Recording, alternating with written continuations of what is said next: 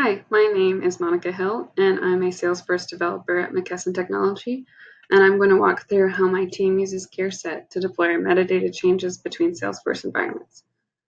We have about 16 Salesforce admin and Salesforce developers that use GearSet throughout the week to deploy changes between sandboxes.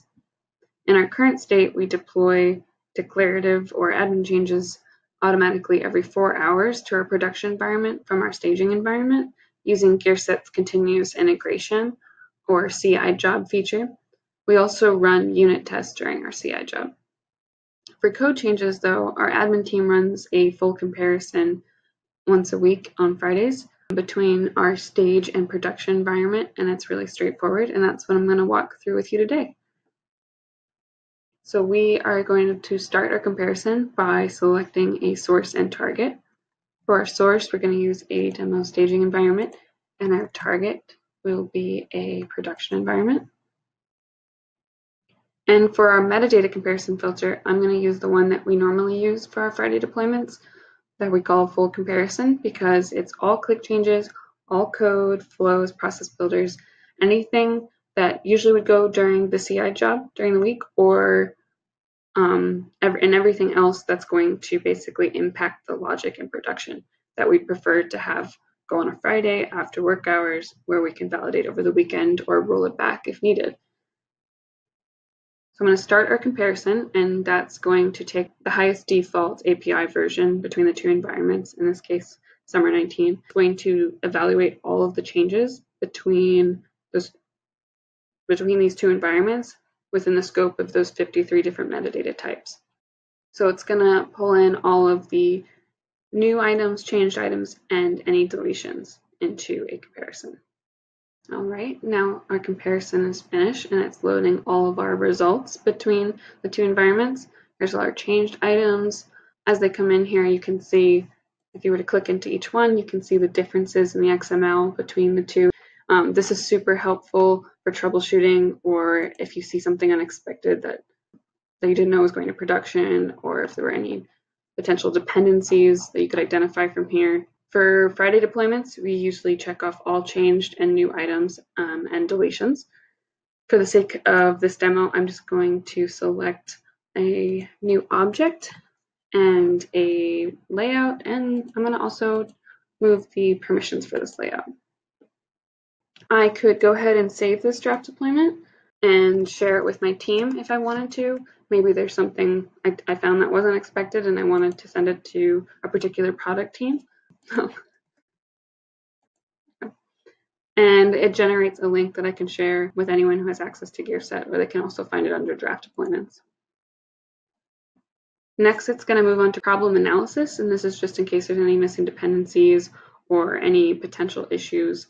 For instance, if I tried to move the uh, layout without the custom object that doesn't exist on the target yet, this layout would have a dependency on that custom object and it would probably be identified in that problem, problem analysis phase of this process. So now that my deployment package is ready, I can go ahead and deploy it or I can validate. I can also download it as a CSV. I can export it.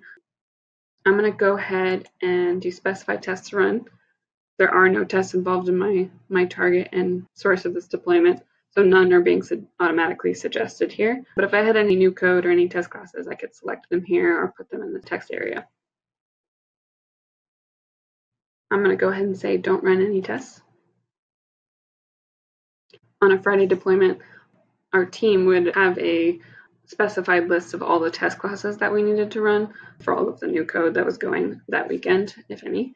And my validation has succeeded. And you can see all of the different components that it went through. As the validation is running, if anything fails, it'll appear here as it goes through each item. If anything fails, you can always go back to the comparison um, or you can revalidate. And same with any Apex tests that fail or if they don't reach 75% code coverage. Then you can go back to the comparison and refresh it, which saves all your selected items. And you can go back in and maybe add something that was missing, or if someone needs to make changes, then you can go back and refresh it after they've made those changes. If this was a Friday deployment, I would go ahead and schedule it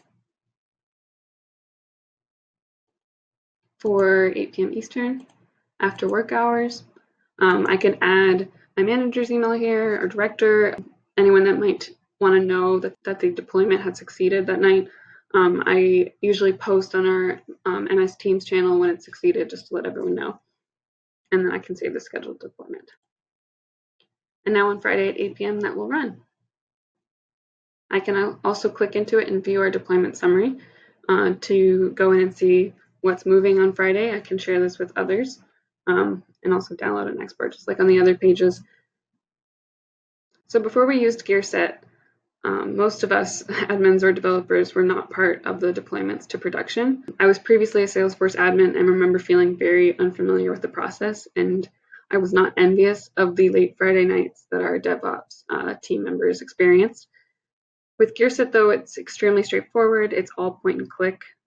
Unlike the previous process, I don't feel any sort of intimidation or any sort of concern about what I might click on, what I might do. Like it's all very clear what each thing does and every step's purpose. The validations can be done ahead of time, which is super useful for whoever's running the deployment. Um, they can get their work done well before the end of the workday.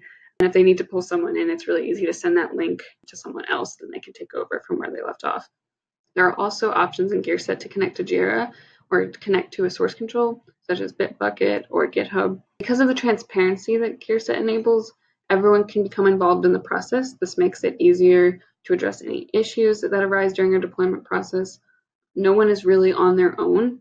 Thanks to GearSet, our deployment process has become a team effort and it's always improving. And thank you for joining me today as I walked through deploying with GearSet.